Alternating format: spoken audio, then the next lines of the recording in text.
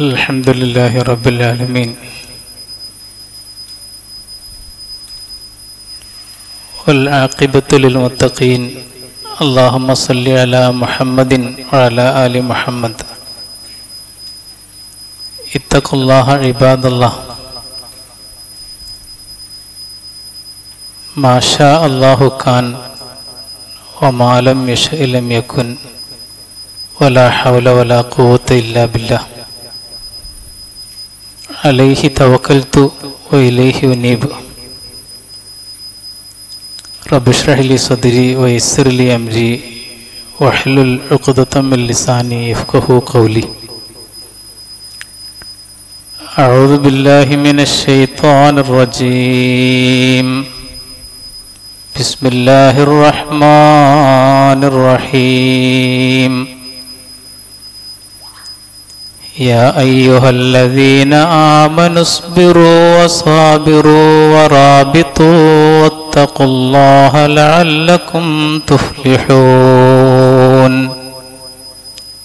صدق الله العظيم പരിശുദ്ധ റമദാനിൻ്റെ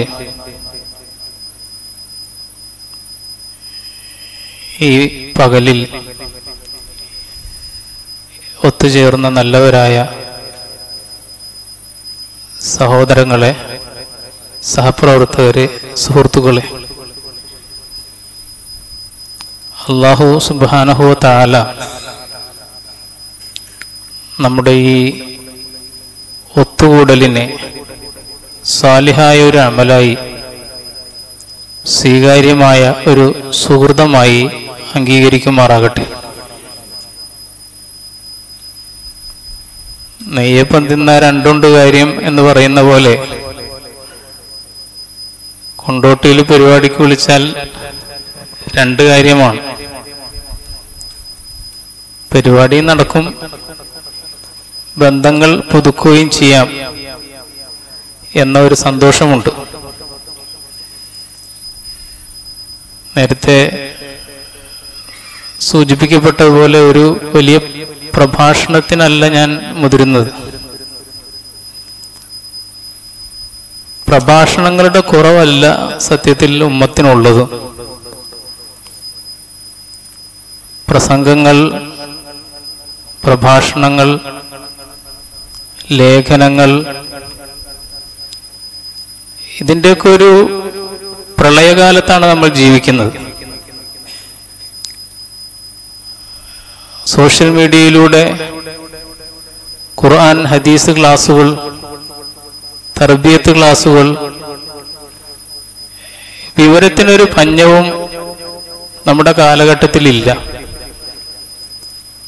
ഒരു വിരൽത്തുമ്പിൽ ഒരുപാട് വിവരങ്ങൾ നമ്മുടെ കൊച്ചുകുട്ടികൾ ചിലപ്പോൾ നമുക്കില്ലാത്ത ഒരുപാട് അറിവുകൾ പകർന്നു തരാറുണ്ട്. ഞാൻ എന്റെ സഹോദരങ്ങളോട് ഈ തലക്കെട്ടിൽ ഒരു ചെറിയ നസീഹത്ത് നടത്തുക മാത്രമാണ് ചെയ്യുന്നത്. അള്ളാഹു സുബാനഹു താല നമ്മയൊക്കെ അനുഗ്രഹിക്കുമാറാകട്ടെ. റമദാൻ വരുമ്പോൾ എന്താണ് ഉമ്മത്ത് മുസ്ലിമയുടെ അവസ്ഥ ലോകത്തും നമ്മുടെ രാജ്യത്തും എന്ന് ഞാൻ ഒരാളോടും പറഞ്ഞു കൊടുക്കേണ്ടതില്ലാത്ത വിധം വ്യക്തമാണ്. ഒരൊറ്റ ഒരു സംഭവം പറഞ്ഞാൽ അമേരിക്കൻ പട്ടാളത്തിന്റെ പ്രധാനപ്പെട്ട ഒരു ഉദ്യോഗസ്ഥനായിരിക്കുന്ന ഒരു ചെറുപ്പക്കാരൻ പട്ടാപ്പകൽ ആരൻ ബുഷ്നൽ നിങ്ങൾക്കറിയായിരിക്കും. പട്ടാപ്പകൽ ലോകം മുഴുവൻ നോക്കി നിൽക്കെ. ന്യൂയോർക്കിലുള്ള ഇസ്രയേലിന്റെ എംബസിയുടെ മുമ്പിൽ വന്ന് താൻ കരുതിയ പെട്രോൾ ഒഴിച്ച് സ്വയം തീ കൊളുത്തി ആത്മഹത്യ ചെയ്യുന്ന ഒരു കാലത്ത് നമ്മൾ ജീവിക്കുകയാണ്. എന്തുമാത്രം ലോകത്തെ ഇരുട്ട് ബാധിച്ചു എന്നതിന്റെ ഒരു ഉദാഹരണം പറഞ്ഞതാണ്. ഇസ്രയേലാണ് എല്ലാ ക്രൂരതകളും ചെയ്തുകൊണ്ടിരിക്കുന്നത്. ആ ക്രൂരതകൾക്ക് കൂട്ടുനിൽക്കുന്നത് അമേരിക്കയാണ്. എന്നിട്ട് അതേ അമേരിക്കൻ പട്ടാളത്തിലെ ഒരു പ്രധാനപ്പെട്ട ഒരു ഉദ്യോഗസ്ഥൻ മുൻ ഉദ്യോഗസ്ഥനല്ല പച്ചക്ക് തീ കൊളുത്തിയിട്ട് അദ്ദേഹം പറഞ്ഞു ഈ വംശഹത്യയിൽ ഈ പാപത്തിൽ എനിക്ക് പങ്കില്ല എന്ന് വിളിച്ചു പറഞ്ഞുകൊണ്ട് വംശഹത്യക്കെതിരെ ആത്മഹത്യ ചെയ്യുന്ന ഒരു കാലത്ത് പിന്നെ ഈ അനീതികളെ കുറിച്ച് നമുക്ക് പ്രസംഗിക്കേണ്ട കാര്യമില്ല. അത്രമേൽ ഇരുട്ട് ബാധിച്ചിരിക്കുന്നു ലോകത്ത്. അത് കഴിഞ്ഞും ലോകത്തിന് പ്രത്യേകിച്ച് മാറ്റമൊന്നും ഉണ്ടായിട്ടില്ല. അമേരിക്കയും മാറിയിട്ടില്ല ഇസ്രയേലും മാറിയിട്ടില്ല ഗസയിൽ നടക്കുന്ന അതിക്രൂരമായ പീഡനങ്ങളും മാറിയിട്ടില്ല. അപ്പൊ ഞാൻ സൂചിപ്പിക്കുന്നത് ഉമ്മത്ത് മുസ്ലിമ ലോകതലത്തിലും നമ്മുടെ രാജ്യത്തും ഇപ്പൊ ഏറ്റവും വലിയൊരു സമരത്തിന്റെയും പ്രക്ഷോഭത്തിന്റെയും ഭൂമിയിലേക്ക് നമ്മൾ ഇറങ്ങാൻ പോവുകയാണ്. സമകാലികമായിട്ടുള്ള ഒരുപാട് വിവരങ്ങൾ എന്നേക്കാൾ ഉള്ള ഒരു സദസ്സാണിത്. ഞാൻ അതിലേക്കൊന്നും കടന്നു പോകുന്നില്ല. ഏറ്റവും വലിയ ചരിത്രത്തിലെ ഒരു പ്രതിസന്ധി അഭിമുഖീകരിച്ചുകൊണ്ടിരിക്കുന്ന നിർണായകമായ ഒരു സന്ദർഭത്തിലാണ് നമ്മൾ ഉള്ളത് എന്ന് മാത്രം സൂചിപ്പിക്കുകയാണ്. അള്ളാഹുവിന്റെ അമ്പിയാക്കന്മാരുടെ കാലഘട്ടങ്ങളിൽ ഇതിനേക്കാളൊക്കെ വലിയ പ്രതിസന്ധികൾ ഉണ്ടായിട്ടുണ്ട്. നേർക്ക് നേരെ പ്രവാചകന്മാരോട് പറഞ്ഞിട്ടുണ്ട്. ഞങ്ങൾ ഇങ്ങനെ ചെയ്യാൻ പോവുകയാണ്. ഞങ്ങളുടെ അധികാരം ഉപയോഗിച്ചുകൊണ്ട് ചെയ്യാൻ പോവുകയാണ്. മിൻ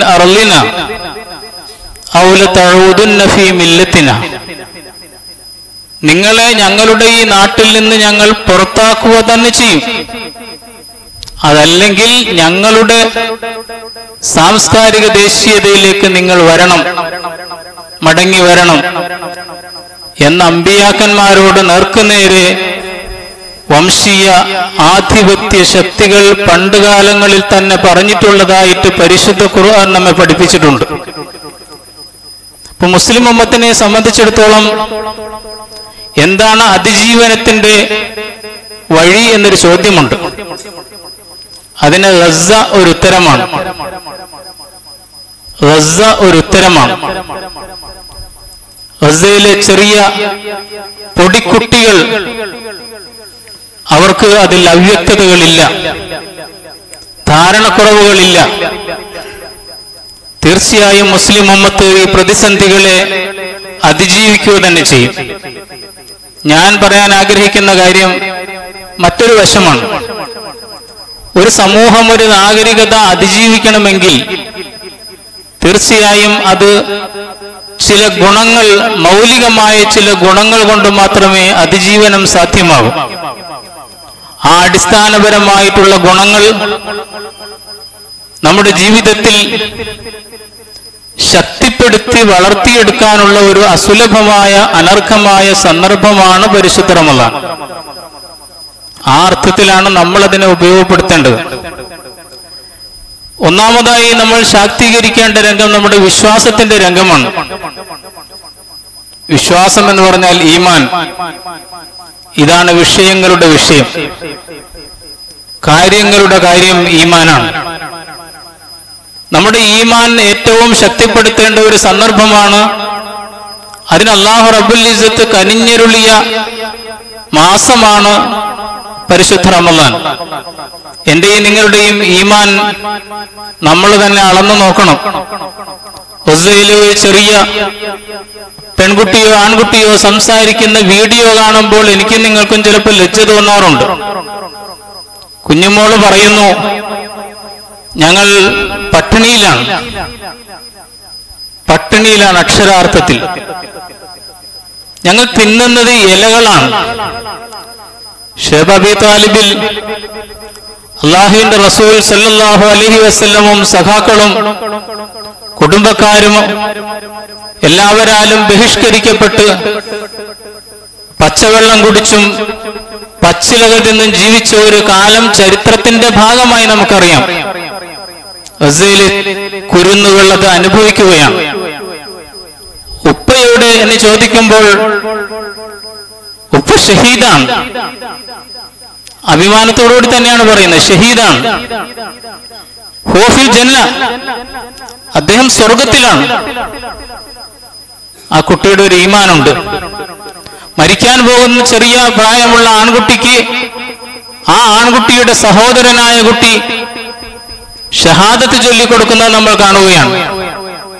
ഞാൻ പറയുന്നത് ഉമ്മത്ത് മുസ്ലിമയുടെ പ്രതിസന്ധിക്ക് പരിഹാരം എന്ത് എന്ന ചോദ്യത്തിന്റെ മുമ്പിൽ ഗസ ഒരു ഉത്തരമാണ് എന്ന കാര്യമാണ്. നമ്മൾ വളർത്തിയെടുക്കേണ്ട ഒന്നാമത്തെ ഗുണം നമ്മുടെ ഈമാനെ ബലപ്പെടുത്തുക എന്നതാണ്. എനിക്കും നിങ്ങൾക്കുമുള്ള ഈമാൻ എത്ര ബലമുണ്ട് എന്ന് തെളിയിക്കപ്പെടാൻ പോകുന്ന ഒരു കാലമാണ് വരുന്നത്. നമ്മുടെ എല്ലാ ചൊട്ടുവിദ്യകളും നമ്മുടെ എല്ലാ കാപഡ്യങ്ങളും പൊളിഞ്ഞു പോകാൻ പോവുകയാണ്. ഞാനടക്കം നമ്മളെല്ലാവരും ഈമാനുണ്ടെങ്കിൽ അവർ മാത്രം പിടിച്ചു നിൽക്കുന്ന വമ്പിച്ച പരീക്ഷണങ്ങളുടെ വലിയ മഴ പെയ്യാൻ പോവുകയാണ്. ഇത് നമ്മൾ ഗൗരവത്തിൽ മനസ്സിലാക്കണം. പരിശുദ്ധ റമദാനിലെ സിയാമിനെ സംബന്ധിച്ചും ഖിയാമിനെ സംബന്ധിച്ചും ഒക്കെ പറയുമ്പോൾ പ്രവാചകൻ ആദ്യം പറഞ്ഞത് ഈമാനെ കുറിച്ചാണ് മൻ സ്വാമ റമദാന ഈമാനൻ ലഹു മാ തഖദ്ദമ മിൻ മൻ ഖാമ ഈമാനോടും എഹ്തിസാബോടും കൂടി ഒരാൾ നോമ്പെടുത്താൽ ഈമാനും മെഹിത്തിസാബോടും കൂടി ഒരാൾ രാത്രികാലത്ത് നിന്ന് നിസ്കരിച്ചാൽ മൻകാന ബില്ലാഹി ഖൈറ. ഈമാൻ ഉണ്ടെങ്കിൽ അയാൾ നല്ലത് പറയട്ടെ. അപ്പൊ എല്ലാത്തിന്റെയും അടിസ്ഥാനം ഈമാനാണ്.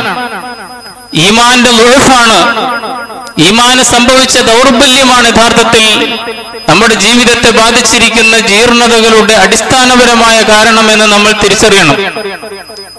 ഈമാൻ ഈമാൻ എന്ന് പറയുമ്പോ ശരിക്കും നമ്മൾ മനസ്സിലാക്കണം ഒരു ഈമാനുള്ള മനുഷ്യനും അതില്ലാത്ത ഒരു മനുഷ്യനും തമ്മിൽ കാഴ്ചപ്പാടുകളിൽ വീക്ഷണങ്ങളിൽ പ്രവർത്തനങ്ങളിൽ വമ്പിച്ച അന്തരമുണ്ട്. ഇത് നമ്മൾ നന്നായി മനസ്സിലാക്കേണ്ട ഒരു വിഷയമാണ്.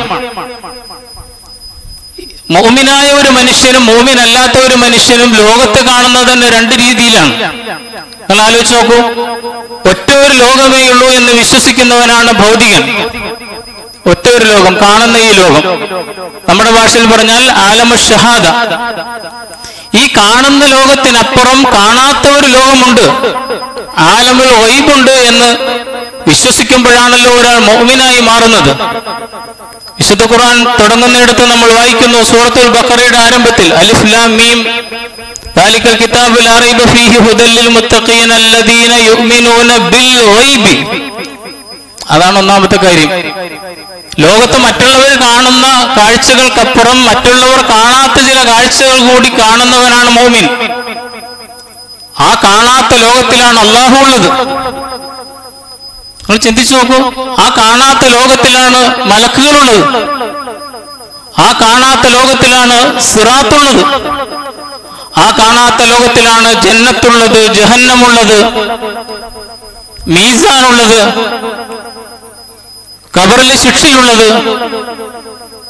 ഇങ്ങനെ മറ്റുള്ളവർ കാണാത്ത ഒരു ലോകത്തെ കൂടി കണ്ടുകൊണ്ട് നമ്മൾ ഈ ഇരട്ടപോരത്തുള്ള കബറില്ലേ? അതുള്ള ആളാണ് വിശ്വാസം. ഈ രണ്ട് ലോകങ്ങളിലും ആലമു ഷഹാദയിലും ആലമുൽ ഒയ്ബിലും ഒരുപോലെ വിശ്വസിക്കുന്നവൻ. ഈ മലക്കുകളിലുള്ള ഈമാൻ എന്നൊക്കെ പറയുന്നത് പണ്ടെന്തോ വായിച്ച് മദ്രസയിൽ വിട്ട വിഷയമാണ് നമ്മൾ. ഞാൻ പറയുന്നത് ഇതിനൊക്കെ വമ്പിച്ച് ഇൻഫ്ലുവൻസ് ഉണ്ട് നമ്മുടെ ജീവിതത്തിൽ. ഞാൻ ഓർക്കുന്നത് മഹാനായ ഇമാം അഹമ്മദ് ബിൻ ഹംബൽ റഹിമുള്ള മരിക്കാൻ പോവാണ്. മരണാസന്നനായി കിടക്കുന്ന സന്ദർഭത്തിൽ കഠിനമായ വേദന കൊണ്ട് ഉഴലുന്ന സന്ദർഭത്തിൽ അദ്ദേഹം ഞരങ്ങാറുണ്ടായിരുന്നു അത്രേ. ഒരു ഞരക്കം. ആ ഞരക്കം ഉണ്ടാകുമ്പോഴത്തേക്ക് അദ്ദേഹം കഠിനമായിട്ട് അതിനെ നിയന്ത്രിക്കാൻ ശ്രമിച്ചിരുന്നു എന്നാണ്. അപ്പൊ പരിചരിക്കാൻ നിൽക്കുന്ന ഹാദിം ചോദിച്ചു എന്തിനാണ് അങ്ങനെ ചെയ്യുന്നത്? അപ്പൊ ഇമാം അഹമ്മദ് ബിൻ ഹംബൽ പറഞ്ഞത് അള്ളാഹു സുബാനുഭവത്താൽ ഒരുപാട് അനുഗ്രഹങ്ങൾ എനിക്ക് ചെയ്തു തന്നു. പക്ഷെ അവന്റെ ഒരു രോഗം വെച്ചപ്പോ ഞാൻ അക്ഷമയോടുകൂടി ഞരങ്ങുകയാണ്. എന്ന രീതിയിൽ എന്റെ കിതാബിൽ മലക്കുകൾ അത് രേഖപ്പെടുത്തുമോ എന്ന് ഞാൻ ഭയപ്പെടുന്നു എന്നാണ്. ഇതൊരു അങ്ങേയറ്റത്തെ സൂക്ഷ്മതയാണ്.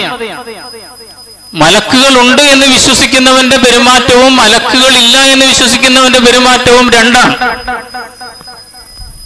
ഒരു സദസ്സിൽ നമ്മൾ ഇരിക്കുന്നു. ആ സദസ്സിൽ മലക്കുകളുടെ സാന്നിധ്യമുണ്ടെന്ന് റസൂൽ സല്ലാഹു അലഹി നിങ്ങൾ ആലോചിച്ച് നോക്കും മലക്കുകളുടെ സാന്നിധ്യമുള്ള ഒരു സദസ്സാണിത് എന്ന് നമ്മൾ സങ്കല്പിക്കുമ്പോൾ ആ കാഴ്ചയും അതില്ല എന്ന് സങ്കല്പിക്കുമ്പോഴുള്ള കാഴ്ചയും രണ്ടാണ്.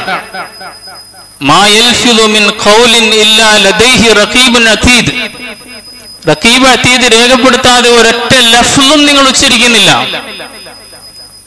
ഒരു പദം നിങ്ങൾ പറയുന്നില്ല. അതവർ അവർ രേഖപ്പെടുത്തും കിറാമൻ കാത്തിബീൻ എഴലമോന മാത്തഫലൂൻ നല്ല മാന്യന്മാരായ എഴുത്തുകാരാണ് അവർ. എല്ലാം അറിയും അവർക്ക്.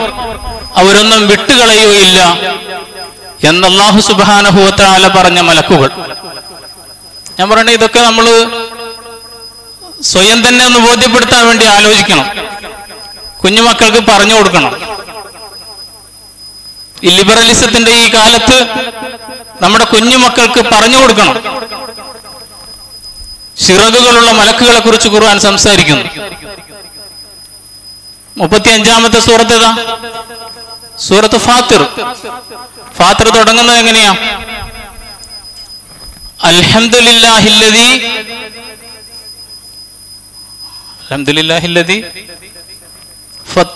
ഫത്തറ സമാവാത്തി വൽ വിശദീകരണത്തിൽ അതിന്റെ ബാക്കിൽ കാണാം. ജാഴിലിൽ മലായിക്ക ഉലി അജിനിഹത്തിൻ മസ്നാവ വ സുലാസ വറുബാൾ അല്ലേ? അങ്ങനല്ലേ? ഒന്നോട് നോക്കിയാൽ മതി. ജാഴിലിൽ മലായിക്ക അള്ളഹാനെ കുറിച്ച് പറയണം. മലക്കുകളെ ഉണ്ടാക്കിയവനാണ് അള്ളാഹു. ഉലി അജിനിഹത്തിൻ ചിറകുകളുള്ള മലക്കുകൾ. മസ്നാവ വ സുലാസ വറുബാൾ ഈ രണ്ടും മുമ്മൂന്നും നാലുമൊക്കെ ചിറകുകൾ വെച്ചുകൊണ്ട് മലക്കുകളെ നിർമ്മിച്ചവനായ അള്ളാഹു. ഹദീസിന്റെ ഗ്രന്ഥങ്ങളിൽ കാണാം സയ്യിദുൽ മലായിക്കത്തായ ജബിരീലിന് എത്ര ചിറകുണ്ട്? വെറുതെ ചോദിക്കണം ഒരു ബുദ്ധിമുട്ടിക്കാൻ വേണ്ടിയിട്ടല്ല. അറുന്നൂറ് ചിറകുകളുണ്ട് എന്നാണ്. റസൂൽ സല്ലല്ലാഹു അലൈഹി വസല്ലം പറഞ്ഞു ഈ അറുന്നൂറ് ചിറകുകളുള്ള ജിബിരിൽ ഹരിതവർണ ചിറകുകളാണ് കേട്ടോ ഹരിതവർണ ചിറകുകൾ ആ ചിറകുകളുമായി ആകാശഭൂമികൾക്കിടയിൽ പ്രത്യക്ഷപ്പെടുമ്പോൾ ആ ചിറകുകൾക്കുള്ളിൽ നിന്ന് പവിഴങ്ങൾ വീഴുന്നു. ഏറ്റവും സൗന്ദര്യമുള്ള സൃഷ്ടികളാണ് മലക്കുകൾ. മാലാഖമാരുടെ സൗന്ദര്യം.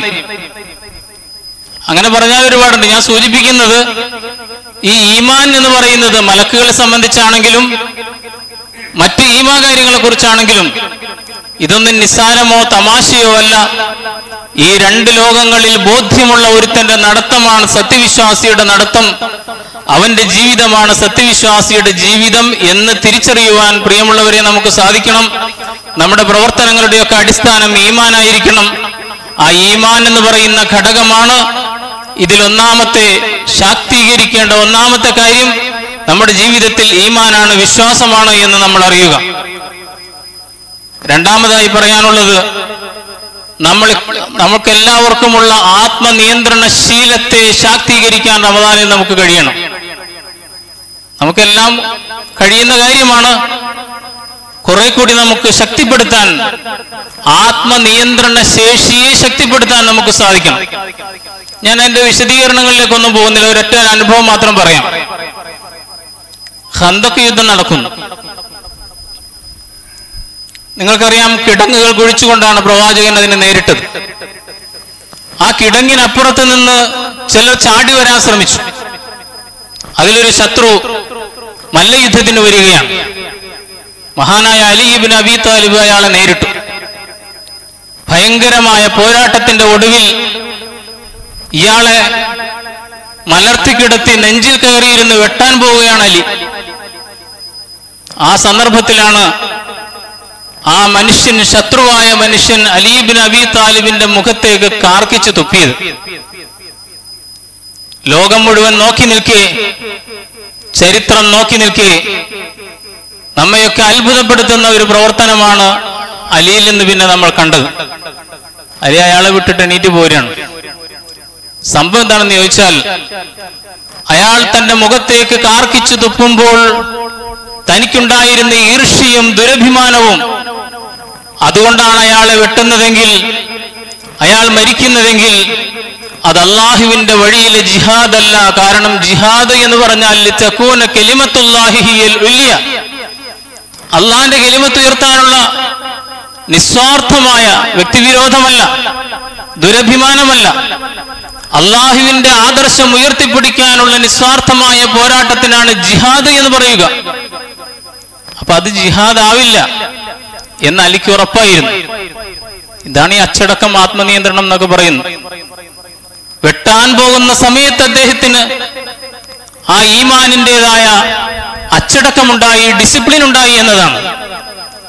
നിങ്ങൾ താലൂത്തിന്റെയും ജാലൂത്തിന്റെയും ചരിത്രം കേട്ടിട്ടുണ്ടാവും. റമദാം റമദാൻ മാസം ബദർ നടന്ന മാസമാണ്. ആ ബദർ നടക്കുന്നതിന്റെ ഏതാനും മാസങ്ങൾക്ക് മുമ്പ് അള്ളാഹു സുബാനഹുവത്താല അവതരിപ്പിച്ചു കൊടുത്ത കുറെ ആയത്തുകളുണ്ട്. വിശുദ്ധ ഖുർആൻ രണ്ടാം അധ്യായം അൽബക്കറി ഇരുന്നൂറ്റി നാൽപ്പത്തി ഒമ്പത് ഇരുന്നൂറ്റി അൻപത് ആയത്തുകൾ നോക്കുക. താലൂത്തിന്റെയും സൈന്യത്തിന്റെയും ചരിത്രം പറയാണ്. ആത്മനിയന്ത്രണത്തെ കുറിച്ച് സൂചിപ്പിച്ചപ്പോൾ ഞാൻ ഓർത്തുപോയതാണ് താലൂത്തും സൈന്യവും ജാലൂത്തിന്റെ സൈന്യത്തെ നേരിടാൻ വേണ്ടി പോവുകയാണ്. യാത്ര പുറപ്പെടുന്നതിന് മുമ്പ് നേതാവായ താലൂത്ത് പറഞ്ഞു നമ്മൾ ഈ പോകുന്ന വഴിക്ക് കൊടും ചൂടിലാണെന്ന് ഓർക്കണം. കഠിനമായ ചൂടുള്ള സന്ദർഭത്തിലാണ് യാത്ര. പോകുന്ന വഴിയിൽ ഇന്നല്ലാഹ മുബത്തലീക്കും ബി നെഹർ. അല്ല ഒരു നദി കൊണ്ട് നിങ്ങളെ പരീക്ഷിക്കും. അല്ല ഒരു നദി കൊണ്ട് നിങ്ങളെ പരീക്ഷിക്കും. കഠിനമായ ദാഹം നിങ്ങൾക്കുണ്ടാകും. ഈ പുഴ കടന്നാണ് നമ്മൾ പോകുന്നത്. പക്ഷെ ആരും വെള്ളം കുടിക്കരുത്. വെള്ളം കുടിക്കരുത്. അഥവാ വളരെ നിർബന്ധമാണെങ്കിൽ ആരെങ്കിലും ഒരു അരക്കൈ കുടന്ന് വെള്ളം കുടിക്കാം. അത് അതിനേക്കാൾ വലിയ പരീക്ഷണമാണല്ലോ. സംഭവിച്ചത് എന്ത് എന്ന് ഖുർആൻ പറഞ്ഞു? ബഹുഭൂരിപക്ഷം സമുദായത്തിലെ ബഹുഭൂരിപക്ഷം. മിൻഹു ഇല്ലാ ഖലീലം മിൻഹു ഫശരിബൂ മിൻഹു ഇല്ലാ ഖലീലം മിൻഹു ഖലീൽ ഒരു തുച്ഛമായ വിഭാഗം ഒഴിച്ച് ബാക്കി എല്ലാവരും മഹാഭൂരിപക്ഷവും കുടിച്ച് അറുമാദിച്ചു കളഞ്ഞു. അതാണ് സമുദായം. എന്നിട്ട് ഇവർ യാത്ര തുടരുകയാണ്. ജാലോത്തിന്റെ സൈന്യം വരുന്നു. ആ ജാലോത്തിന്റെ സൈന്യത്തെ അഭിമുഖീകരിക്കേണ്ടി വരുമ്പോൾ ഈ വെള്ളം കുടിച്ച വിഭാഗത്തിന്റെ പ്രതികരണം സമുദായത്തിന്റെ പ്രതികരണം പേടിയാണല്ലോ. മിണ്ടാൻ പേടിയാ. പേടിച്ചുകൊണ്ട് അവർ പറഞ്ഞു ലാ ജാലൂത്തിന്റെ ഈ വലിയ സൈന്യത്തെ ഇവരെന്ന് നേരിടാനുള്ള കപ്പാസിറ്റി നമുക്കില്ല. നമ്മൾ അതിനു മാത്രമൊന്നും കഴിവാർജിച്ചിട്ടില്ല എന്ന് പറഞ്ഞ് ഭീരുക്കളായി അവർ മാറി നിന്നു എന്ന് വിശുദ്ധ ഖുർആനാണ് പഠിപ്പിക്കുന്നത്. പ്രിയമുള്ളവരെ ആലോചിച്ച് നോക്കൂ. ഒരു ചെറിയ സംഘം ആത്മനിയന്ത്രണം ഉണ്ടായിരുന്ന വിഭാഗം. അവർ പറഞ്ഞ ഒരു വാക്കുണ്ട്. ആ വാക്ക് ചരിത്രത്തിൽ ഏറ്റവും വലിയ കോൺഫിഡൻസ് നൽകുന്ന വാക്കാണ്. വിശുദ്ധ ഖുർആൻ വായിക്കുന്ന ഒരാൾ അയാളുടെ മനസ്സിൽ മായാത്ത മഷി കൊണ്ട് രേഖപ്പെടുത്തേണ്ട ഒരു വാക്കാണ്. കമ്മിൻ ഫിയത്തിൻ ഖലീലത്തിൻ വലബത്ത് ഫിയത്തൻ കസീറത്തമ്പി ഇതിനില്ല. എത്രയെത്ര കൊച്ചു സംഘങ്ങളാണ് വൻ സൈന്യ സന്നാഹങ്ങളെ തകർത്തു കളഞ്ഞിട്ടുള്ളത് ചരിത്രത്തിൽ. ഇത് ഈ ബദർ നടക്കുന്നതിന്റെ ഏതാനും മാസം മുമ്പ് അള്ളാഹു ഖുർആാനിലൂടെ അറിയിക്കുകയാണ്. ഇവരെ തയ്യാറാക്കുകയാണ് നാളെ സംഭവിക്കാൻ പോകുന്നത് സംഭവിക്കേണ്ടത് ഇതാണ് എന്ന്.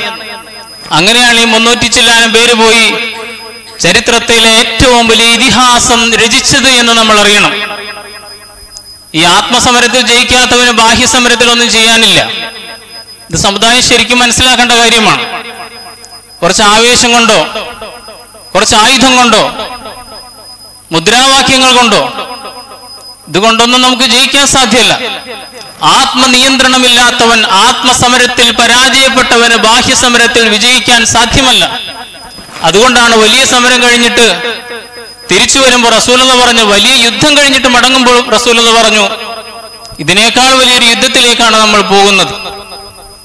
അപ്പൊ സഹാബെ കിറാം അത്ഭുതത്തോടു കൂടി ചോദിച്ചു ഇനി ഇതിനേക്കാൾ വലിയ യുദ്ധത്തിലേക്കും പ്രവാചകന്റെ മറുപടി ആ യുദ്ധം എന്ന് പറയുന്നത് മുജാഹദത്തുൽ അബ്ദി ഹവാഹു. അവനവന്റെ ഇച്ഛയോട് ഹവയോട് ഒരു മനുഷ്യൻ അള്ളാഹുവിന്റെ ഒരു അടിമ നടത്തുന്ന സമരമാണ്. ഈ ഹവ എന്ന് പറയുന്ന ഒരു ചെറിയ കാര്യമല്ല. ശരിക്കും നമ്മൾ മനസ്സിലാക്കണം. റസൂല്ലി സ്വല്ലം ഒരിക്കൽ പറഞ്ഞത് ലോകത്ത് ഏറ്റവും കൂടുതൽ ആരാധിക്കപ്പെടുന്ന ദൈവം എന്ന് പറയുന്നത് ഹവയാണ്. ഹവ പിന്തുടരപ്പെടുന്ന ഹവയാണ് ലോകത്തിൽ ഏറ്റവും അപകടകാരിയായ ലോകത്തിൽ ഏറ്റവും കൂടുതൽ ആളുകൾ പൂജിക്കുന്ന ദൈവം എന്ന് പറയുന്നത് ഹവൻ പിന്തുടരപ്പെടുന്ന ദേഹേച്ഛയാണ് എന്നാണ്. നമുക്ക് തന്നെ നിയന്ത്രണം കിട്ടൂല. അസുഖത്തിന്റെ മോഹമായാലും പണത്തിന്റെ മോഹമായാലും ഒക്കെ അങ്ങനെയാണ്. എത്ര കിട്ടിയാലും മതി വരില്ല. പൂന്താനം പണ്ട് പാടില്ലേ? പത്ത് കിട്ടുകിൽ നൂറ് മതിയെന്നും ശതമാകിൽ സഹസ്രം മതിയെന്നും ആയിരം പണം കയ്യിലുണ്ടായാൽ അയുധമാകിൽ ആശ്ചര്യമെന്നതും ആശയാലുള്ള പാശമതിങ്കെന്ന് വേർവിടാതെ കരേറുന്നു മേൽക്കുമേൽ എന്ന് പാടി. പത്ത് കിട്ടുമ്പോ നൂറ് വേണം. നൂറ് കിട്ടുമ്പോ ആയിരം വേണം. ആയിരം കിട്ടുമ്പോ ആയുധം പതിനായിരം വേണം. ഇങ്ങനെ പോവാണ്. യഹുറുമു ഇബിനു ആദം. മനുഷ്യൻ പ്രായമാകും തോറും അവന്റെ ഉള്ളിൽ രണ്ട് സംഗതികൾ യൗവനം പ്രാപിച്ചുകൊണ്ടിരിക്കും. ഹുബുൽ ഐഷി മാൽ. ജീവിതത്തോടുള്ള ആസക്തിയും പണത്തോടുള്ള ആർത്തിയും. അപ്പൊ ഇതിനൊക്കെ നിയന്ത്രിക്കാൻ കഴിയണമെങ്കിൽ ഈ ആത്മനിയന്ത്രണ ശേഷി നമുക്ക് വേണം. ആത്മനിയന്ത്രണ ശീലത്തെ ശാക്തീകരിക്കലാണ് റമദാനിൽ യഥാർത്ഥത്തിൽ നടക്കുന്ന ഏറ്റവും വലിയ ഒരു പരിശീലനം എന്ന് പറയുന്നത്. നമുക്ക് ഭക്ഷണത്തിന് കൊതിയുണ്ട് ഭക്ഷണത്തിന് വിശപ്പുണ്ട് ഭക്ഷണം മുമ്പിലുണ്ട്. ഹലാലായി സമ്പാദിച്ചതാണ്. പക്ഷെ ഞാൻ കഴിക്കുന്നില്ല. കാരണം എന്റെ റബ്ബ് ഇപ്പോൾ കഴിക്കരുതെന്ന് പറഞ്ഞു അതുകൊണ്ട് വേണ്ട. വെള്ളം കുടിക്കരുതെന്ന് പറഞ്ഞു വേണ്ട. കാമപൂർത്തീകരണം പാടില്ല എന്ന് പറഞ്ഞു വേണ്ട. ഹലാലായി തനിക്ക് അനുവദിച്ചു കിട്ടിയതിൽ തന്നെ ഇങ്ങനെ. ഒരു മാസം എന്ന് പറയുമ്പോൾ ഒരു ചുരുങ്ങിയത് മുന്നൂറ്റി അറുപത് മണിക്കൂർ. മുന്നൂറ്റി അറുപത് മണിക്കൂർ ഈ ഉപവാസത്തിലൂടെ നോമ്പിലൂടെ ഈ പരിശീലനം നേടുന്ന ഒരാളെ സംബന്ധിച്ചിടത്തോളം അനുവദനീയമായത് പക്ഷേ ഇപ്പൊ വേണ്ട എന്ന് റബ്ബ് പറഞ്ഞിട്ട് മാറ്റിവെച്ച ഒരാൾ. പിന്നെ ഹലാലല്ലാത്തതിനെ കുറിച്ച് ചിന്തിക്കുകയില്ലല്ലോ. ഇത് കഠിനമായ ഒരു പരിശീലനമാണ്. ആത്മനിയന്ത്രണശീലത്തിന്റെ ശാക്തീകരണം സിയാമിലൂടെ സംഭവിക്കണമെന്നാണ് ഞാൻ പറഞ്ഞത്. മറ്റൊരു ശക്തി നമ്മൾ നേടിയെടുക്കേണ്ടത് ധാർമ്മികതയുടെ ശക്തിയാണ്. ഞാൻ അവസാനിപ്പിക്കുകയാണ്. ധാർമ്മികതയുടെ ശക്തി. ഈ ധാർ- ധാർമ്മിക ശക്തി ഉള്ളതുകൊണ്ടാണ് അനീതികൾക്കെതിരെ ലോകത്ത് സമരങ്ങൾ നടക്കുന്നത്. അതെന്തുകൊണ്ട് അവർക്ക് ഇത്ര ധൈര്യം ഉണ്ടാകുന്നു എന്നത് മറ്റുള്ളവർക്ക് അത്ഭുതം തോന്നുന്ന ഒരു കാര്യമാണ്. ഇപ്പൊ ഗസയിൽ ആറു മാസമായി ഈ യുദ്ധം തുടങ്ങിയിട്ട്. യുദ്ധമല്ല വംശഹത്യ. ആറു മാസം. ഭൂമിയുടെ ഒരു ചെറിയ ചീന്താണ്. ആ ഗസയിൽ അവർ കാണിക്കുന്ന അത്ഭുതം എന്ന് പറയുന്നത് അതിന്റെ രഹസ്യം എന്ത് എന്നത്? പടിഞ്ഞാറുകാർക്ക് ചിന്തിച്ചിട്ടും ചിന്തിച്ചിട്ടും മനസ്സിലാകാത്ത വിഷയമാണ്. പ്രിയമുള്ളവരെ ധാർമ്മിക ശക്തി ഉണ്ടാകുമ്പോഴാണ് അനീതികൾക്കെതിരെ നേരിടാൻ സമരം ചെയ്യാൻ മുന്നിട്ടിറങ്ങാൻ നമുക്ക് സാധിക്കുക. ഇതെന്തിൽ നിന്ന് വരുന്നതാണെന്ന് ചോദിച്ചാൽ അത് നേടിയെടുക്കാനുള്ള ഏറ്റവും വലി- വലിയൊരു മാർഗമാണ് വിശിഷ്യ റമദാനിലെ ഖിയാമ എന്ന് പറയുന്നത്.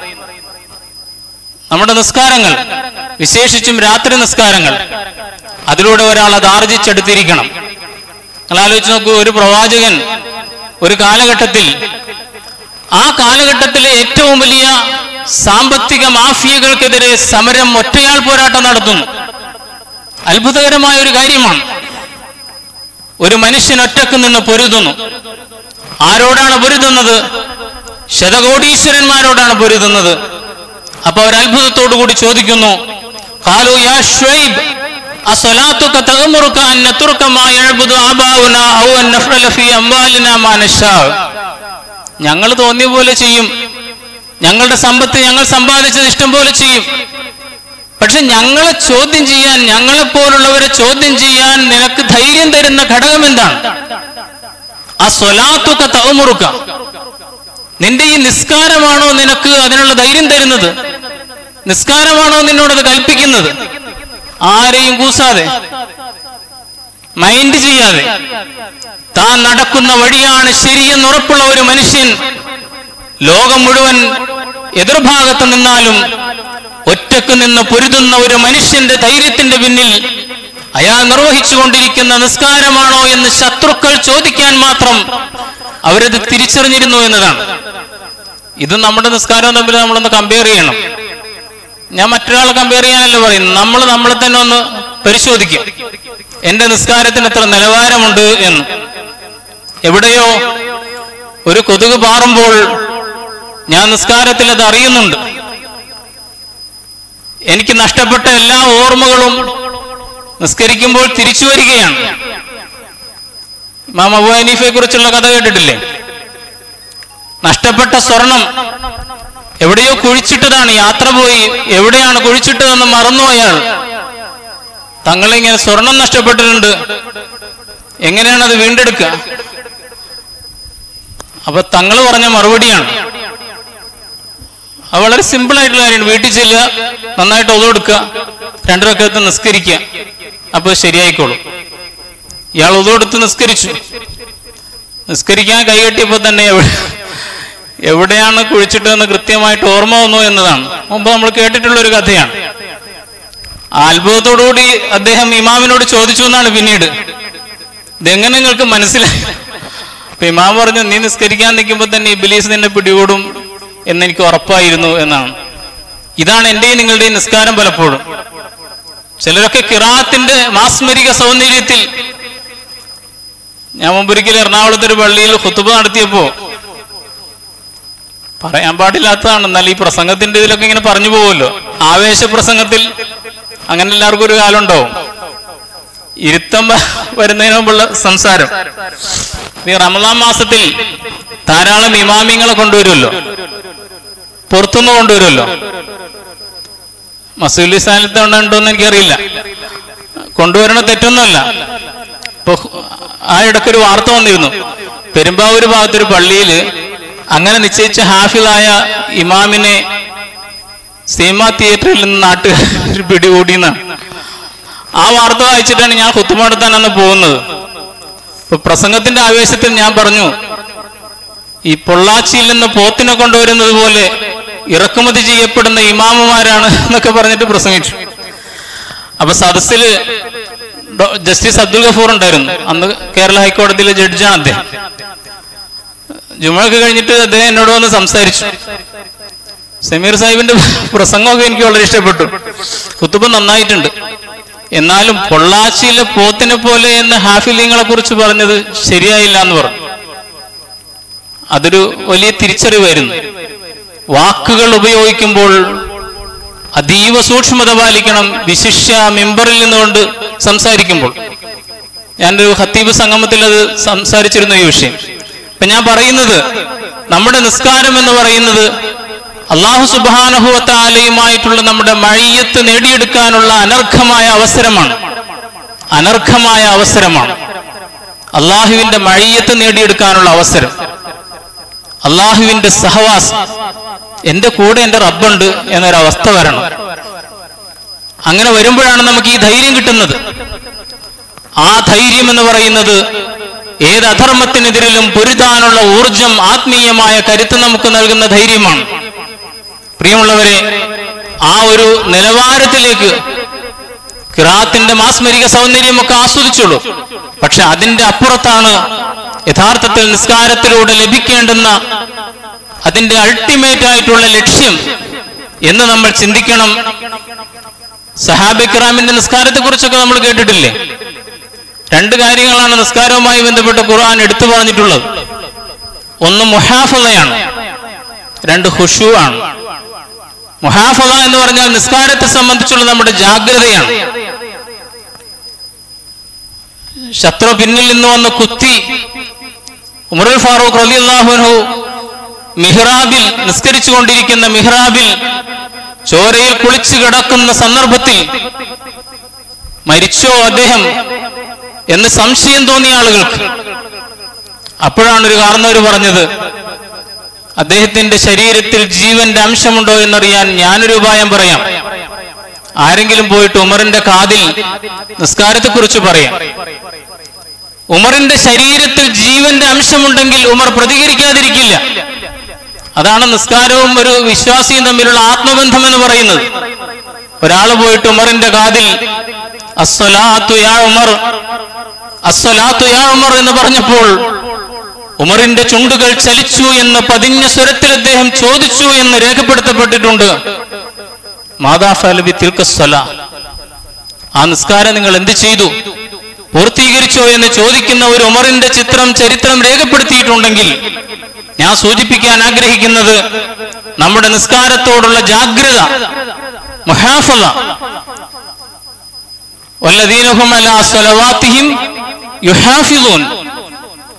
അങ്ങനെയുള്ള ബന്ധമുള്ളവരാണ് വിശ്വാസികൾ. രണ്ടാമത്തെ കാര്യം ഖുഷു ആണ് നിസ്കാരത്തിലെ ഭയഭക്തി. സഹാബിക്കറാം അറിയാറുണ്ടായിരുന്നില്ല എന്നാണ്. പലപ്പോഴും നിസ്കാരത്തിൽ മറ്റുള്ള പരിസരങ്ങൾ അവർ മറന്നുപോകുമായിരുന്നു. പരിസരങ്ങൾ മറന്നുപോകുമാറ്.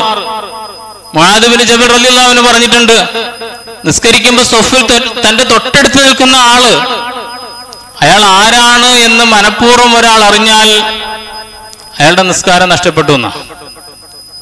എന്റെ ഇപ്പുറത്ത് നിൽക്കുന്ന ആൾ ആരാണെന്ന് ഞാൻ അറിയാൻ ശ്രമിക്കാം. അത്രമേൽ നിസ്കാരത്തിന്റെ ഫോക്കസ് നഷ്ടപ്പെട്ട ഒരു വിഭാഗമായി തീർന്നതുകൊണ്ട് കൂടിയാണ് നമ്മൾ ജീർണതകളിലേക്ക് പോകുന്നത് എന്ന് നമ്മൾ ഓർക്കുക. അതുകൊണ്ട് നിസ്കാരം ക്യാമിലൂടെ നമ്മൾ നേടിയെടുക്കേണ്ട ധാർമ്മിക ശക്തിയാണ് ഒരു പ്രധാനപ്പെട്ട വിഷയം. മറ്റൊന്ന് ജീവിത വിശുദ്ധിയാണ് ജീവിത വിശുദ്ധി അതിനുള്ള ഏറ്റവും നല്ല പരിശീലനമാണ് പരിശുദ്ധ റമദാനിലെ പരിശുദ്ധ ഖുർആൻ പാരായണം.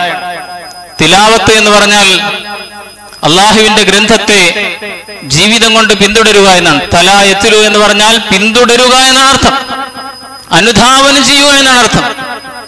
ഖുർആാനിന്റെ അക്ഷരങ്ങളെ ആശയങ്ങളെ കണ്ണുകൊണ്ടും കൽബുകൊണ്ടും ജീവിതം കൊണ്ടും പിന്തുടരാൻ നമുക്ക് സാധിക്കുക എന്നതാണ്. വിശദീകരണങ്ങൾ ആവശ്യമില്ല. നമുക്കെല്ലാം ബോധ്യമുള്ള കാര്യമാണ്. വിശുദ്ധ ഖുർആനെ ആ അർത്ഥത്തിൽ തിലാവത്ത് നടത്താൻ. അതുകൊണ്ടാണ് അലൈഹി വസല്ലം തിലാവത്തിനെ കുറിച്ച് പറഞ്ഞപ്പോൾ എന്ന് പറഞ്ഞത്. ഖുർആൻ അർഹിക്കുന്ന വായന നിങ്ങൾ കൊടുക്കണം. ഖുർആൻ അർഹിക്കുന്ന വായന ഒരു നോവൽ വായനയുടെ രീതിയിൽ ഖുർആൻ വായിക്കാൻ പറ്റൂല. ഒരു സാഹിത്യ ഗ്രന്ഥം വായിക്കുന്നത് പോലെയല്ല. ഒരു ഇൻഫർമേഷന്റെ കേവലമായ ഒരു ഭൗതിക വിവരങ്ങളടങ്ങിയ ഒരു ഗ്രന്ഥം വായിക്കുന്നത് പോലെയല്ല. വിശുദ്ധ ഖുർആൻ വായിക്കുമ്പോൾ അത് മറ്റൊരു വലിയ വിഷയമാണ്. നമ്മൾ ചർച്ച ചെയ്യേണ്ടുന്ന ഒരു വിഷയമാണ്. അത് മറ്റൊരു സന്ദർഭത്തിൽ നമ്മൾ ആലോചിക്കേണ്ട കാര്യമാണെന്ന് കൂടി സാന്ദർഭികമായി ഞാൻ സൂചിപ്പിക്കട്ടെ. കാരണം ഈ പരിശുദ്ധ ഖുർആൻ വായിക്കുമ്പോഴുള്ള അനുഭവങ്ങളെ കുറിച്ച് ഖുർആൻ ഒന്നിലധികം സ്ഥലങ്ങളിൽ പരാമർശിച്ചിട്ടുണ്ട്. സൂറത്ത് സുമറിൽ പറയുന്നുണ്ട് റബ്ബഹും എന്നാണ്. അതായത് പരിശുദ്ധ ഖുർആൻ വായിക്കുന്ന ഭയഭക്തിയുള്ള ആളുകളെ സംബന്ധിച്ചിടത്തോളം അവരുടെ രോമങ്ങൾ എഴുന്നേറ്റ് വരും. നമ്മൾ എത്ര പേർക്ക് രോമം എഴുന്നേറ്റ് വരാറുണ്ട് ഖുർആൻ ഓതുമ്പോ നമ്മൾ ആത്മപരിശോധന നടത്തണം. റബ്ബഹും സുമ്മ തലീനു ജുലൂദുഹും വഖുലൂബുഹും ഇലാ എന്നിട്ട് അള്ളാഹുവിന്റെ ദിക്കറിലേക്ക് അവരുടെ ചർമ്മങ്ങളും അവരുടെ കൽബുകളും ഹൃദയങ്ങളും അങ്ങനെ പരുവപ്പെട്ടു വരും എന്ന് പരിശുദ്ധ ഖുർആൻ പറയുന്നു. വേറൊരു ഭാഗത്ത് കാണാം. ഇതാ സമയവുമാ റസൂൽ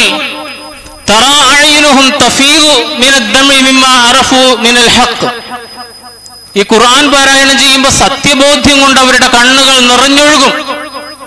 അവരുടെ കണ്ണുകൾ നിറഞ്ഞൊഴുകും. എന്ന് അള്ളാഹു പറഞ്ഞിട്ടുണ്ട്. അതുകൊണ്ട് പരിശുദ്ധ ഖുർആാനിന്റെ തിലാവത്താണ് നമ്മുടെ ജീവിത വിശുദ്ധിയുടെ ഏറ്റവും പ്രധാനപ്പെട്ട ഒരു ഉപാധി എന്ന് നമ്മൾ അറിയുക. ഖുർആൻ സൂചിപ്പിച്ചിട്ടുണ്ട് അള്ളാഹുവിന്റെ പ്രവാചകൻ സംസ്കരിക്കുന്നു എന്ന് പറഞ്ഞാൽ തിലാവത്തും തസ്കിയത്തും തസ്കിയത്തിന് വേറെ രീതിയിൽ പറഞ്ഞാൽ തിരുത്തുക എന്നാണ്. കറക്റ്റ് ചെയ്യുക നമ്മൾ. തിലാവത്ത് സംഭവിക്കും തിരുത്തലും സംഭവിക്കും. തിലാവത്തും തിരുത്തലും നിരന്തരമായി സംഭവിക്കുന്ന ജീവിതമാണ് സംസ്കരണത്തിന്റെ ജീവിതം എന്ന് പറയുക. ഷേബാ മാസത്തിൽ എനിക്ക് കളവ് പറയുക എന്നൊരു സ്വഭാവം കുറേശ്ശെ ഉണ്ടായിരുന്നു. ഷേബ മാസത്തിൽ ഞാൻ വിലയിരുത്തിയപ്പോൾ എനിക്ക് ബോധ്യമായി ചെറിയ കള്ളങ്ങൾ പറയാന്നുള്ളൊരു ശീലം എനിക്കുണ്ട്. ഞാൻ പരിശുദ്ധ ഖുർആൻ പാരായണത്തിലൂടെ എന്റെ ആ ശീലത്തിൽ നിന്ന് ഞാൻ മാറി. മോചനം കിട്ടി. ഞാൻ റമദാനിലെത്തി. പിന്നെ ശവ്വാലിലെത്തുമ്പോൾ എന്റെ ശീലം ആ ദുശീലം മാറി. ആ ദുശീലം മാറ്റാൻ നിന്റെ തിലാവത്തിന് കഴിയുന്നുവെങ്കിൽ അതാണ് തിലാവത്ത് യത്തുലൂനഹു ഹി എന്ന് പറഞ്ഞത്. കുറെ നാളൊരു സംഗതി ശീലിച്ചാൽ നമ്മൾ അങ്ങനെ ആയിപ്പോവല്ലോ. അതാണ് കവി പറഞ്ഞത് ഹന്ത പഴകിയ ശീലം പോലൊരു ബന്ധനമുണ്ടോ ലോകത്തിൽ എന്നാണ്. അങ്ങനെ ഇംപ്രഷനേഴ്സ് ആയിട്ട് നമ്മൾ കഴിയണം ഒരുപാട് ശീലങ്ങളുടെ. ഞാൻ ഒന്നാമതായിട്ട് എന്നോട് തന്നെയാണ് പറയുന്നത് നമ്മൾ അതിനെ സംസ്കരിച്ച് ഇല്ലാതാക്കുന്ന ദുശീലങ്ങൾ മാറ്റിയെടുക്കുന്ന ഒരു വലിയ പ്രക്രിയ ഈ വിശുദ്ധ ഖുർആൻ തിലാവത്തിലൂടെ സംഭവിക്കണമെന്ന കാര്യമാണ്. ഒരൊറ്റ കാര്യം കൂടി അന്തിമമായി നമ്മുടെയൊക്കെ മനുഷ്യത്വത്തിന്റെ ശാക്തീകരണവും റമദാനിൽ സംഭവിക്കണം. മനുഷ്യത്വത്തിന്റെ ശാക്തീകരണം. ജനങ്ങളോട് കരുണയും സ്നേഹവും അനുതാപവും ദയാവായ്പുമൊക്കെയുള്ള ഒരു മനസ്സിനെ നമ്മൾ വളർത്തിയെടുക്കണം. അതിനുള്ള ഏറ്റവും നല്ല സന്ദർഭം പരിശുദ്ധ റമദാൻ തന്നെയാണ്. ഒരു ജനത എന്ന നിലയ്ക്ക് അതിജീവിക്കാനുള്ള നമ്മുടെ അതിജീവനത്തിന്റെ ഗുണങ്ങളിൽ സുപ്രധാനമായ ഒന്നാണ് ഈ കാരുണ്യം എന്ന് പറയുന്നത്. റസൂൽഹി സല്ലാഹു അലഹി വസ്ല്ലം ജിബിരിയിലുമായിട്ട് റമദാനിൽ കണ്ടുമുട്ടിയതിന് ശേഷം പ്രവാചകനെ കുറിച്ച് പറയുന്നു അജുവദുബിൽ ഖൈർ. പ്രവാചകൻ ഏറ്റവും ഉദാരനാകുമായിരുന്നു. അടിച്ചു വീശുന്ന കാറ്റിനേക്കാൾ എന്ന ഹദീസുകളിൽ കാണാം. അടിച്ചു വീശുന്ന കാറ്റ് ഒരു പുൽനാമ്പിനെ പോലും തഴുകിത്തലോടി കടന്നു പോകുന്ന കാറ്റാണ്. സമൂഹത്തിൽ ഏറ്റവും അവഗണിക്കപ്പെടുന്നവൻ ശ്രദ്ധിക്കപ്പെടാത്തവൻ സംസാരങ്ങൾ അവഗണിക്കപ്പെടുന്നവൻ അവകാശങ്ങൾ നിഷേധിക്കപ്പെട്ടവൻ തിന്നാനില്ലാത്തവൻ ഒടുക്കാനില്ലാത്തവൻ അങ്ങനെയുള്ള ഒരു വലിയ ലോകമുണ്ട്. ഇന്നും ലോകരാജ്യങ്ങൾ പരിശോധിച്ചാൽ ആഫ്രിക്കൻ രാജ്യങ്ങളെ കുറിച്ചൊക്കെ നിങ്ങൾ വായിച്ചു നോക്കും. ഏറ്റവും ദയനീയമായ ഒരു അമേരിക്ക അമേരിക്കക്കാരൻ ബ്രേക്ക്ഫാസ്റ്റിന് ഉപയോഗിക്കുന്ന തുക കൊണ്ട് ഒരു മാസം ജീവിക്കുന്ന ആഫ്രിക്കക്കാരന്റെ ലോകമാണിത്. പതിനാലായിരം കോടി ഉറുപ്പികയുടെ അന്റിലിയ എന്ന് പറയുന്ന ആർഭാട വീട് ബോംബെയിൽ പണിതുയർത്തിയ ശതകോടീശ്വരനായ അംബാനിയുടെ വീടിന്റെ കുറച്ചുകൂടി അപ്പുറത്തേക്ക് നടന്നാൽ പുഴുക്കളെപ്പോലെ മനുഷ്യർ ജീവിക്കുന്ന ചാളകളും ചേരികളും നമുക്ക് കാണാം. അത്ര ഭയങ്കരമായ അസന്തുലിതത്വമാണ് സമൂഹത്തിൽ. ആ അസന്തുലിതത്വം മാറ്റാനാണ് ഇസ്ലാമിൽ ജക്കാത്ത് പോലുള്ള സമ്പ്രദായങ്ങൾ ജക്കാത്ത് പോലുള്ള വ്യവസ്ഥകൾ നടപ്പിലാക്കപ്പെട്ടത്. ഞാൻ സൂചിപ്പിക്കുന്നത് ഈ മനുഷ്യത്വത്തെ വളർത്തിയെടുക്കാൻ നമ്മുടെ ഇൻഫാക്കിലൂടെ റമദാനിലെ ഇൻഫാക്കിലൂടെ ചെലവഴിക്കലുകളിലൂടെ സാധ്യമാകണമെന്ന കാര്യമാണ്. ഇങ്ങനെ കരുത്ത് നേടിയ ഒരു വ്യക്തിയും ഒരു സമാജവുമായിട്ട് നമുക്ക് മാറാൻ കഴിയണം എന്ന് മാത്രമാണ് സൂചിപ്പിക്കാനുള്ളത്. അച്ചടക്കമുള്ള ഒരു മനുഷ്യൻ ആത്മനിയന്ത്രണമുള്ള ഒരു മനുഷ്യൻ ആത്മനിയന്ത്രണമുള്ള ഒരു സമൂഹം ഇങ്ങനെ അടിസ്ഥാനപരമായിട്ടുള്ള ജീവിത ഗുണങ്ങളുടെ കരുത്ത് നേടിയ ഒരു സമൂഹമായി നമ്മളുടെ പ്രതിസന്ധികളെ നേരിടാനുള്ള ഒരു സന്നദ്ധതയാണ് നമുക്ക് റമദാനിലൂടെ ഉണ്ടാകേണ്ടത് എന്ന് മാത്രം സൂചിപ്പിക്കട്ടെ. ഇസ്ലാമിലേക്ക് കടന്നു വന്ന ഒരാൾ കടന്നു വന്നതിന് ശേഷവും കടന്നു വരുന്നതിന്റെ മുമ്പുള്ള ഒരാളാണെങ്കിൽ ഇസ്ലാമിലൂടെ പരിവർത്തനവും മാറ്റവും ഒന്നും അയാൾക്ക് സംഭവിച്ചിട്ടില്ലെങ്കിൽ പ്രിയമുള്ളവരെ ആ ഇസ്ലാമിനെ കുറിച്ച് നമ്മൾ ഗൗരവത്തിൽ ആലോചിക്കേണ്ടതാണ്. വ്യക്തി എന്നുള്ള നിലക്കാൽ നല്ല കരുത്തുള്ള ഒരു പേഴ്സണാലിറ്റി നമുക്കുണ്ടാവും. ഞാൻ ഓർക്കുന്നത് ഹൻസാഗ് എന്ന് പറയുന്ന ഒരു അറബി കവയിത്രി ഉണ്ടായിരുന്നു. ഹൻസാഗ് ജാഹിലിയ കാലഘട്ടത്തിൽ അവരുടെ ഒരു സഹോദരൻ മരിച്ചപ്പോൾ ആ മരണം സഹിക്കവയ്യാതെ വിലാപകാവ്യങ്ങൾ എഴുതിയിരുന്ന ഒരു കവയിത്രി. വിലാപകാവ്യങ്ങൾ എഴുതിയിരുന്ന ഒരു കവയിത്രി. അവർ പറയുന്നു രാവിലെ സൂര്യോദയം കാണുമ്പോൾ സൂര്യോദയം എന്റെ സഹറിനെ കുറിച്ച് എന്നെ ഓർമ്മിപ്പിക്കുകയാണ്. സൂര്യോദയം സഹറിനെ കുറിച്ച് മരിച്ചുപോയ എന്റെ സഹോദരനെ കുറിച്ച് എന്നെ ഓർമ്മിപ്പിക്കുകയാണ്.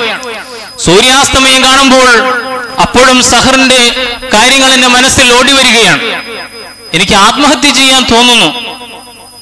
എന്ന് നിലവിളിച്ച് നടന്ന ഒരു കവയിത്രി അള്ളാഹുവിന്റെ ദീൻ സ്വീകരിച്ചതിന് ശേഷം പേർഷ്യക്കാരുമായി നടന്ന കാദസിയ യുദ്ധത്തിന്റെ സന്ദർഭം. യുദ്ധം കൊടുമ്പിരിക്കൊള്ളുന്ന ഒരു നേരത്ത് സ്വന്തം മക്കളെ നാല് ആൺമക്കളെ വിളിച്ചു വരുത്തി യുദ്ധക്കളത്തിൽ വെച്ച് അവർ ഉപദേശം കൊടുക്കുകയാണ് നസീഹത്ത് കൊടുക്കുകയാണ്. ഒരു ഉമ്മ. ധീരതയുള്ള ഒരു ഉമ്മ. ആ നാലാൺമക്കളോട് അവർ പറഞ്ഞു മക്കളെ വിശുദ്ധ ഖുർആാന് ഞാൻ ആമുഖമായി പാരായണം ചെയ്ത് ആയത്ത് പാരായണം ചെയ്തുകൊണ്ടാണ് പറഞ്ഞത്. വിശുദ്ധ ഖുർആൻ മൂന്നാം അധ്യായം ആലു ഇമ്രാൻ ഇരുന്നൂറാമത്തെ വചനം.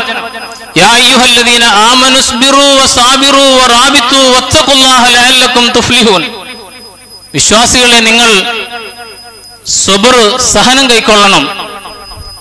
നിങ്ങൾ ധീരരായിരിക്കണം. റാബിത്തു നിങ്ങൾ ത്യാഗസന്നദ്ധരായിരിക്കണം. വത്തക്കുള്ള തക്കവയുള്ളവരാവണം. എങ്കിൽ നിങ്ങൾക്ക് വിജയിക്കാം.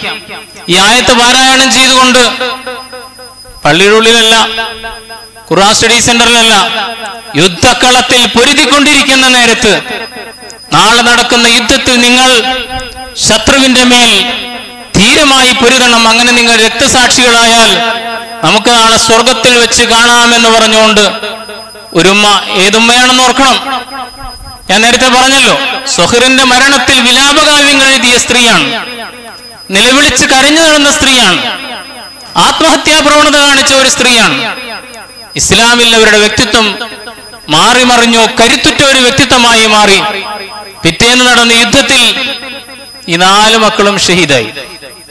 നാല് മക്കളും ഷഹീദായി. വൈകുന്നേരം അവർക്ക് വിവരം കിട്ടുന്നു. തന്റെ നാല് ആൺമക്കളും പോയി. അപ്പോ അമ്മയുടെ പ്രതികരണം. അപ്പ ഉമ്മ പറഞ്ഞ വാക്ക് ബിഖത്ലിഹി അവരുടെ രക്തസാക്ഷ്യം കൊണ്ട് എന്നെ അനുഗ്രഹിച്ച അള്ളാഹുവെ നിനക്ക് സകല സ്തുതിയും. എന്ന് പറയുന്ന ഒരു ഉമ്മയായി ഒരു വ്യക്തിത്വമായിട്ട് മാറുകയാണ്. പ്രിയമുള്ളവരെ ഞാൻ സമാപിപ്പിക്കുന്നു. അങ്ങനെ കരുത്തുറ്റ വ്യക്തിത്വം അങ്ങനെയുള്ള വ്യക്തികളും സംഘവുമായി മാറാൻ ഇസ്ലാമിക ഉമ്മത്തിന്റെ റമദാനിന്റെ പരിശീലനത്തിലൂടെ സാധ്യമാകേണ്ടതുണ്ട് എന്ന് മാത്രം സൂചിപ്പിക്കട്ടെ.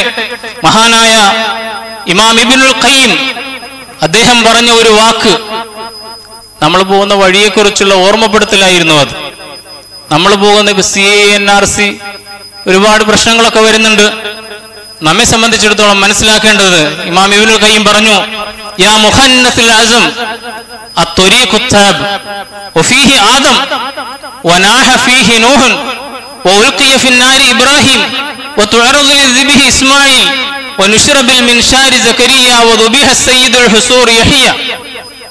മഹാനായ ഇബ്നു കയ്യും പറയുകയാണ് അല്ലയോ യാ മുഹന്നസുൽ അസം? എന്ന് പറഞ്ഞാൽ മനസ്സുറപ്പില്ലാത്തവനെ എന്നാണ് മനസ്സുറപ്പില്ലാത്ത സമുദായത്തെ വിളിക്കുകയാണ്.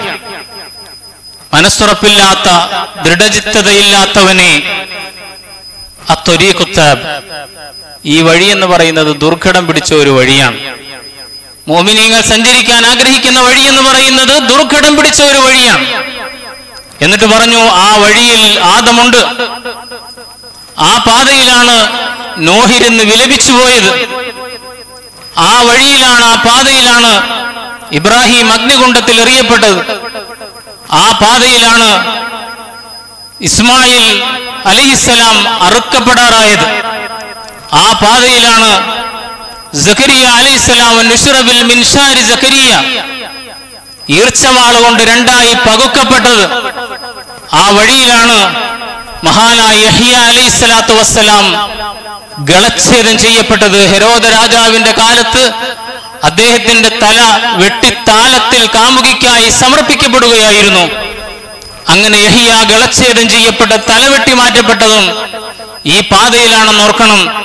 ഇബിനുൽ കയ്യം പറയാതെ ആ പട്ടിക വീണ്ടും നമ്മുടെ മനസ്സിലേക്ക് വരുന്നുണ്ട്.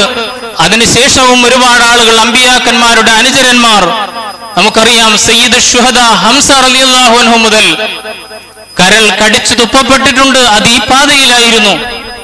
ഷഹീദ് ഹസനുൽ ബന സാമ്രാജ്യത്വം വെടിവെച്ചു കൊന്നത് ആ രക്തസാക്ഷിത്വം ഈ പാതയിലായിരുന്നു. പ്രിയമുള്ളവരെ ഷഹീദ് സയ്യിദ് കുത്തുബ് കഴിവേറ്റപ്പെട്ടത് കൊലക്കയർ നിരയാക്കപ്പെട്ടത് ഈ പാതയിലായിരുന്നു. വീൽചക്രങ്ങളിൽ സഞ്ചരിച്ചു കൊണ്ടിരുന്ന ശരീരത്തിന്റെ ചലനമറ്റിട്ടും മിസൈൽ വിട്ടുകൊണ്ട് സാമ്രാജ്യത്വം കൊന്നു കൊലവിളിച്ച ഷെയ്ഖ് അഹമ്മദ് യാസീൻ അദ്ദേഹം സഞ്ചരിച്ചതും ഈ പാതയിലായിരുന്നു. ഏറ്റവും ഒടുവിൽ ഗസയിലെ കുട്ടികൾ ചരിത്രം രചിച്ചുകൊണ്ടിരിക്കുന്നത് മുപ്പതിനായിരത്തിലധികം പേർ രക്തസാക്ഷികളായത് അതും ഈ പാതയിലാണ് എന്ന് നമ്മൾ ഓർക്കണം. യാ മുഹന്നസൽ അങ്ങനെ മനസ്സിനുറപ്പില്ലാത്തവരെ ഇതാണ് നമ്മുടെ പാതയെന്ന് നിങ്ങൾ തിരിച്ചറിയുക. റബ്ബ് സുബാനഹുവ താല അതിജീവനത്തിന്റെ മാർഗങ്ങൾ ഇസ്ലാമിക സമൂഹത്തിന് പ്രദാനം ചെയ്യുമാറാകട്ടെ. നല്ല നേതൃത്വങ്ങളെ ഇസ്ലാമിക അവബോധമുള്ള ഭാവിയെ കാണാൻ ഉൾക്കാഴ്ചയുള്ള നല്ല നേതൃത്വങ്ങളെ തന്ന്. ഇത് ചെറിയൊരു കാര്യമല്ല പ്രിയമുള്ളവരെ. ഒരു വലിയ പ്രതിസന്ധിയൊക്കെ നേരിടുമ്പോഴാണ് നമ്മൾ അത്ര വലിയ നേതൃത്വത്തെ ആഗ്രഹിക്കുന്നത്. അങ്ങനെ നമ്മൾ നോക്കുമ്പോൾ കാണുന്ന കാഴ്ച എന്താ? ഞാൻ വിശദീകരിക്കുന്നില്ല നിങ്ങൾക്കറിയാം. പണ്ട് ഹിറ്റ്ലറുടെ കോൺസെൻട്രേഷൻ ക്യാമ്പിലേക്ക് കൊണ്ടുപോകാൻ വേണ്ടി ആളുകൾ ബസ്സിൽ കയറ്റി ഇരുത്തിയ സമയത്ത് സൈഡ് സീറ്റിന് വേണ്ടി ആളുകൾ തർക്കിച്ചിരുന്നു. നിങ്ങൾ കേട്ടിട്ടുണ്ടാവും. കോൺസെൻട്രേഷൻ ക്യാമ്പിലേക്ക് കൊണ്ടുപോകാൻ സാക്ഷാൽ ഹിറ്റ്ലർ. ഹിറ്റ്ലർ ഏർപ്പെടുത്തിയ ബസ്സിൽ ജൂതന്മാരെ കൊണ്ടുപോകുന്നു. ആ കോൺസെൻട്രേഷൻ ക്യാമ്പിലേക്ക് പോകുന്ന ബസ്സിലിരുന്ന് എനിക്ക് സൈഡ് സീറ്റ് വേണമെന്ന് തർക്കിക്കുന്നവന്റെ വിഡിത്തം. അതാണ് ഈ സമുദായത്തിന്റെ പണ്ഡിതന്മാരടക്കം പലപ്പോഴും കാണിച്ചുകൊണ്ടിരിക്കുന്നത്. വിഷയം ചിലപ്പോ ഫിദിയാകാം ഹൈലാവാം നിഫാസാകാം എന്ത് വിഷയമാകാം. അത് തർക്കിക്കാൻ കാണുന്ന ആ തർക്കിക്കാൻ എടുക്കുന്ന നേരം. ആലോചിച്ച് നോക്കൂ ചരിത്രത്തിൽ ഏറ്റവും പരിഹാസ്യമായ അവസ്ഥയിലേക്ക് പലപ്പോഴും നമ്മൾ പോകാറുണ്ട് ഞാൻ അവസാനിപ്പിക്കട്ടെ. അള്ളാഹു സുബാനഹുത്താല നല്ല ഒത്തൊരുമയും ഐക്യവും നമുക്ക് പ്രദാനം ചെയ്യുമാറാകട്ടെ. ദിശാബോധമുള്ള നേതൃത്വങ്ങൾ നൽകി അള്ളാഹു ഇസ്ലാമിക സമൂഹത്തെ അനുഗ്രഹിക്കുമാറാകട്ടെ. നമ്മുടെ വീഴ്ചകൾ അള്ളാഹു വിട്ടുപുറത്ത് മാപ്പാക്കി തരുമാറാകട്ടെ. നമ്മളിൽ നിന്ന് മരണപ്പെട്ടവർ റബ്ബ് സുബാനഹുത്താല അവർക്കെല്ലാം മഹഫിറത്തും മർഹമത്തും പ്രദാനം ചെയ്യുമാറാകട്ടെ. അവരെയും നമ്മയും അള്ളാഹുവിന്റെ സ്വർഗത്തിൽ ഒരുമിപ്പിച്ച് അവൻ അനുഗ്രഹിക്കുമാറാകട്ടെ. പ്രയാസപ്പെടുത്തുന്ന രോഗങ്ങളിൽ നിന്ന് വേദനിപ്പിക്കുന്ന ഭീകരമായിട്ടുള്ള പകർച്ചവ്യാധികളായിട്ടുള്ള അങ്ങനെ മനുഷ്യനെ ഒരുപാട് പ്രയാസപ്പെടുത്തുന്ന രോഗങ്ങൾ നമുക്കെല്ലാം അറിയാം. റബ്ബ് സുബാനഹോത്താല അത്തരം രോഗങ്ങളിൽ നിന്ന് നമ്മയൊക്കെ നമുക്ക് വേണ്ടപ്പെട്ടവരെയും കാത്തു രക്ഷിക്കുമാറാകട്ടെ. രോഗികളായവർക്ക് അള്ളാഹു ഷിഫ നൽകി അനുഗ്രഹിക്കുമാറാകട്ടെ.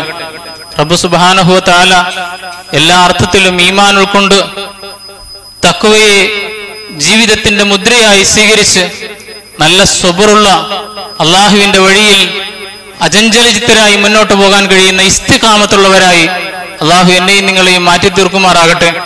റബ്ബു സുബാനഹുവത്താല നമ്മുടെ മാതാപിതാക്കളെ അനുഗ്രഹിക്കുമാറാകട്ടെ. ജീവിച്ചിരിക്കുന്ന മാതാപിതാക്കളോട് വിനയത്തോടുകൂടി പെരുമാറാനുള്ള വിവേകം തന്ന് നമ്മൾ മക്കളെ അള്ളാഹു അനുഗ്രഹിക്കുമാറാകട്ടെ. റബ്ബു സുബാനഹുവത്താല നമ്മുടെ ഈ ഒത്തുകൂടലിനെ ഈ സംഗമത്തെ അള്ളാഹു കബൂൽ ചെയ്യുമാറാകട്ടെ ربنا تقبل منا انك انت السميع العليم وتب علينا انك انت التواب الرحيم واغفر لنا انك انت الغفور الرحيم وارحمنا بانواع رحمتك يا ارحم الراحمين واخر دعائي الحمد لله رب العالمين السلام عليكم ورحمه الله تعالى وبركاته